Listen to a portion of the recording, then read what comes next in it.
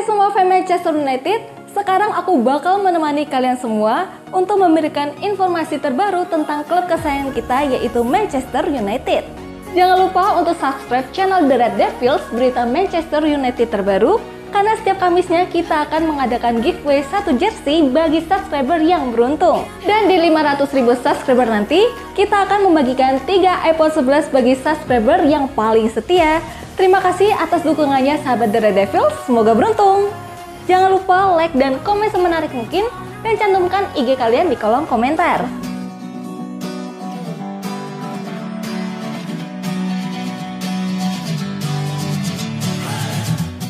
Fred ditendang, bagaimana nasib Scott McTominay? Kedatangan Mason Mount mengubah banyak hal di United. Pemain yang dibeli dari Chelsea itu membuat Erik Ten Hag punya banyak opsi di tengah. Seperti diketahui, Mount bisa memainkan banyak peran di lini tengah. Selain Mount, perkembangan Kobe Maino juga akan memakan korban. Maino bakal diplot untuk bermain di tim utama United. Nah, Maino bakal membuat beberapa pemain senior kehilangan tempat. Fred salah satu pemain yang akan dilepas. Fulham dan Fenerbahce telah menyatakan minat pada Fred, sedangkan masa depan McTominay masih belum pasti. Seperti Fred, peluang McTominay mendapat menit bermain bakal berkurang pada musim 2023-2024. Sebab persaingan di lini tengah sangat padat, selain Mon dan Maino, ada Casemiro, Erikson, dan Bruno Fernandes yang bersaing. McTominay bukan pilihan utama, dia lebih sering berada di belakang Casemiro untuk peran gelandang bertahan. Pada bursa transfer Januari 2020, 23 lalu, nama McTominay santer disebut bakal hengkang dari United. Dikutip dari Manchester Evening News, masa depan McTominay masih akan sama dengan bursa transfer Januari 2023 lalu. McTominay bakal dikaitkan dengan banyak klub, peluang untuk hengkang dari United akan terus terbuka.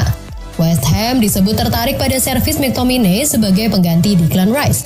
Selain itu ada Everton dan Brighton yang juga mengintip peluang untuk mendapatkan jasa McTominay. Wahai fans MU, Alex Telles pamit nih. Alex Telles sudah resmi meninggalkan Manchester United dalam bergabung Al Nassr. Kini sang pemain mengucapkan salam perpisahan kepada fans The Red Devils. Telles tidak masuk dalam rencana Erik Ten Hag di Manchester United. Alhasil, Telles memutuskan pindah ke Al Nassr pada musim panas ini. Kini Telles akan memulai petualangan baru di Arab Saudi. Pemain berusia 30 tahun tersebut tidak lupa mengucapkan salam perpisahan kepada fans Setan Merah.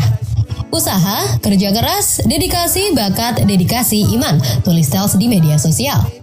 Saya tidak tahu resep dalam hidup untuk mencapai dan melaksanakan proyek kami. Ketika saya tiba di United, saya mewujudkan impian saya untuk bermain di salah satu klub terbesar di dunia. Klub raksasa dengan penggemar yang luar biasa, kota tempat saya berteman dan sangat bahagia.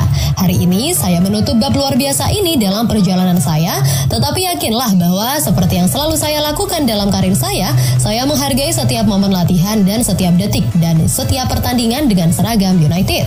Terima kasih Manchester, terima kasih United. Manchester United merekrut Alex Telles dari Porto seharga 15 juta euro.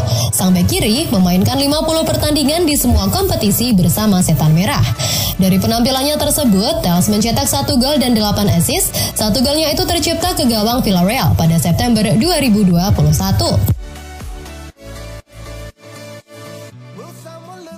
Jadon Sancho bikin Erik Ten Hag berubah pikiran. Nggak jadi beli striker nih. Erik Ten Hag tengah menguji coba Jadon Sancho sebagai false nine di laga pramusim untuk melihat apakah dia cocok dengan peran tersebut untuk Manchester United di Premier League musim baru nanti. Sancho biasanya dimainkan sebagai pemain sayap kiri, namun Ten Hag sedang mempertimbangkan apakah akan mengubah posisi pemain berusia 23 tahun itu menjadi penyerang tengah. Pemain timnas Inggris itu telah menjadi starter sebagai false nine dalam pertandingan persahabatan melawan Lyon, Leeds United, dan Arsenal musim panas ini. Sancho menampilkan performa yang solid dalam kemenangan 2-0 atas The Gunners pada hari Sabtu, mencetak gol kedua dan tampil mengesankan dengan permainan menekan maupun bertahan. Menurut The Athletic, Ten Hag telah terkesima oleh penampilan Sancho di posisi tersebut dan mungkin memutuskan untuk memainkannya di Premier League. Dengan setan merah masih belum mendatangkan striker baru musim panas ini. Man United United disebut-sebut akan merekrut Harry Kane menjelang musim 2023-2024 dan striker Tottenham itu sangat tertarik untuk pindah. Namun tim asuhan Ten Hag menarik diri dari persaingan karena harganya yang mencapai 100 juta pound sterling.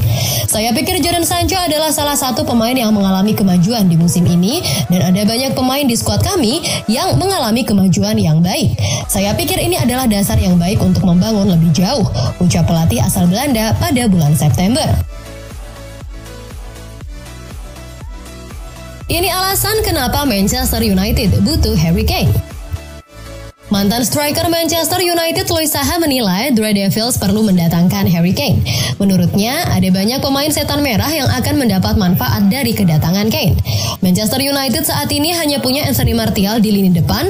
Louis Saha menekankan betapa pentingnya kehadiran striker nomor 9 buat setan merah.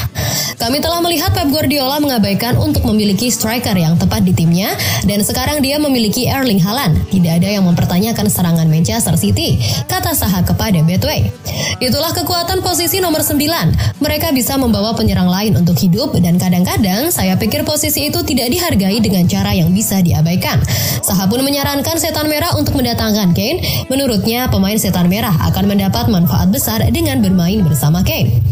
Seorang striker yang tepat dapat menahan bola selama 10 detik, yang memungkinkan pemain datang untuk mendukung mereka atau berlari di belakang. Ini adalah kualitas yang dapat Anda bayangkan yang dapat diberikan oleh Harry Kane. Lanjutnya, Pemain seperti Garnacho, Marcus Rashford, dan Jadon Sancho akan mendapat manfaat besar dengan bermain bersama Kane.